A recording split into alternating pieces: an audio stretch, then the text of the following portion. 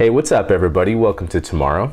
So there's a lot of really big news going on, but I did want to kind of follow up with the video that I put out two weeks ago talking about the payloads for the Space Launch System.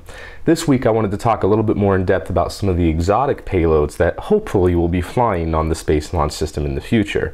And that's what we're going to be talking about for this, your Space Pod for September 29th, 2015.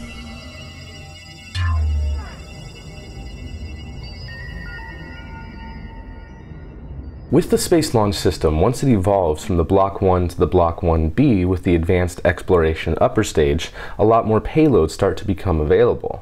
And one of the sort of mission architectures that are being looked at is lunar exploration. This is a mixture of both robotic and human exploration. One of the ideas that I really like would not only enhance lunar exploration missions, but pretty much any Space Launch System mission.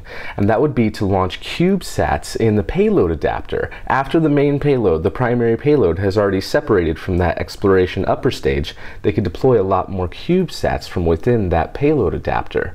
This is called ESPA, the Encapsulated Secondary Payload Adapter. And with this, they could launch six unit CubeSats to do really cool missions. The first ones that they're looking at are for lunar exploration, but like I said, this could be applied to pretty much any Space Launch System mission. One of the other cool missions I like would be to launch the Orion with several robots that would be landers and rovers that would be able to explore the moon and be teleoperated from that Orion capsule instead of back at Houston or somewhere else on Earth. NASA and their contractors are also looking at a Morpheus derived lander that could be used for a sample return mission that could actually return something back up to the Orion capsule or a lunar space station. And this is one of the ideas that I really like. Currently, there's three kind of big ideas for what could be lunar space station. However, this would not be a space station in orbit around the moon. It would be in one of the Lagrange points.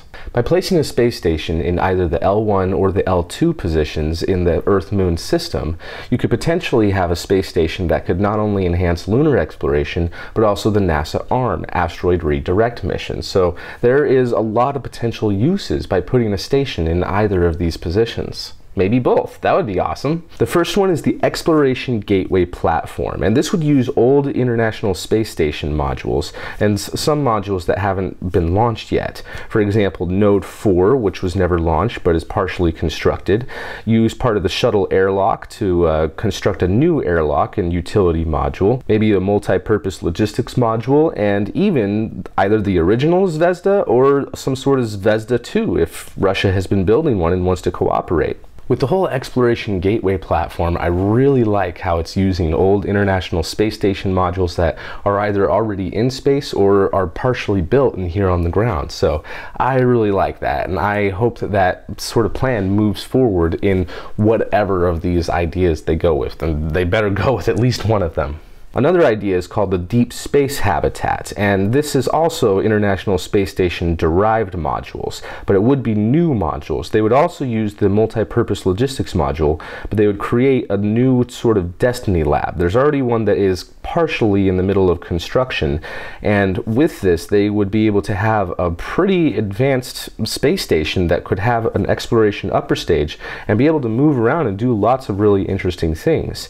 And something that I really like about this is the support craft for this space station idea. One of them is called Flexcraft, which is just a small one-person capsule that would have robotic arms and could be used for a lot of orbital construction, orbital repairs, a lot of the uses that we normally go on EVAs for. But you could extend uh, how long they're outside if they're in one of these Flexcrafts. You could extend repair missions for a long time and it could do a lot of really cool things with it. So I really like this and personally I want one of these.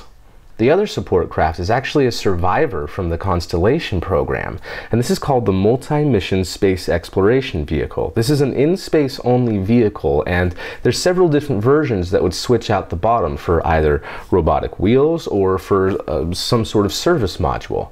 And with this idea, I really like it because you would be able to do, again, really cool things. This would be able to enhance the asteroid redirect missions, lunar missions, they could do all sorts of really cool things and expand this station a lot. In between the multi-purpose logistics module and their uh, Destiny 2 module that I guess I'm calling is this airlock that would have connector ports that they could have not only these support craft but other visiting spacecraft as well. So I really like this idea. Finally, the other idea that I really like is called Skylab 2. And this is just like the original Skylab in the sense that it's using a, a, dry upper stage from the Space Launch System in the same way that the original Skylab used an upper stage from the Saturn V.